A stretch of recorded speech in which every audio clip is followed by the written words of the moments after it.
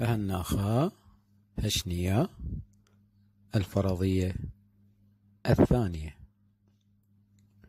مشبط بسافة خياب لهيوت بانوي كهلاخا مبخينا ديك دوكيت أي أن الجملة في أي لغة يجب أن تكون مبنية كما ينبغي من الناحية القواعدية. ومعنى هذا الكلام أن أي خلل في تركيبة الجملة سيؤدي إلى عدم اعتبارها جملة في أي لغة كانت. ولتوضيح هذا الكلام نسرد بعض الأمثلة من الجمل في اللغة العبرية. مثل داني أخلتم تبوخ أي داني أكلتم تفاحة. موشي هالخو البيت السفر موشي ذهبوا إلى المدرسة. راخيل يختوف ات هالشعور راخيل أو راحيل يكتب الدرس. هي لاديم تسخك بمجرش الأولاد تلعب في الساحة. هبانوت عمد على الهكب البنات وقف على الخط.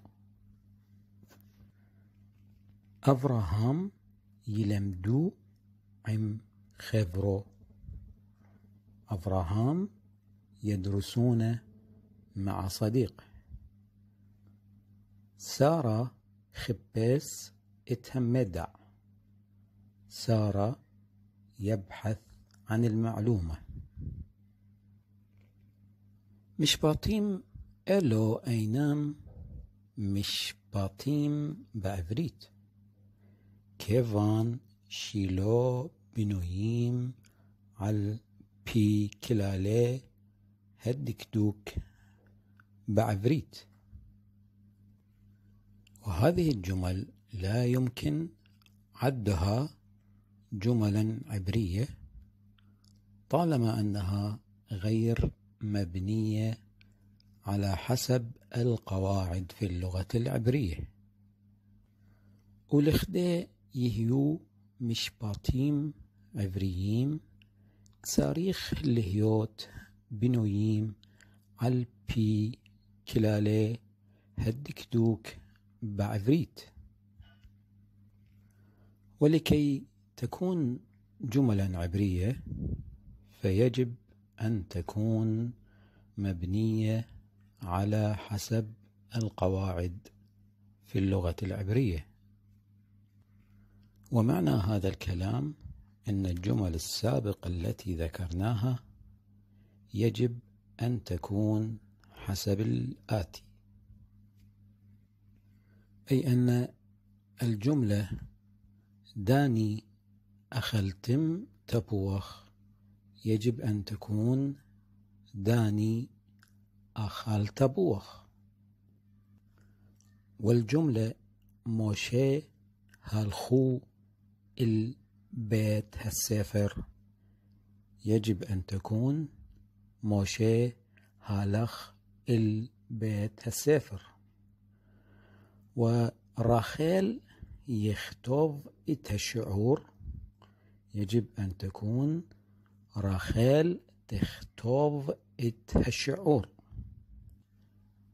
هي لاديم تسخك بمج بمجراش تكون. هي لاديم يسخكو بمجراش. هبانوت عمد على الهكاف تكون. هبانوت عمدو على الهكاف أفراهام يلمدو إم خفرو تكون أفراهام يلمد إم خبرو وسارة خبس اتهمدا تكون سارة خبسة اتهمدا هذه هي الفرضية الثانية التي تنص على همشبط بسافة خياض لهيوت بانوي كهلاخا مبخينا دكدوكيت أي أن الجملة في اللغة يجب أن تكون مبنية كما ينبغي من الناحية القواعدية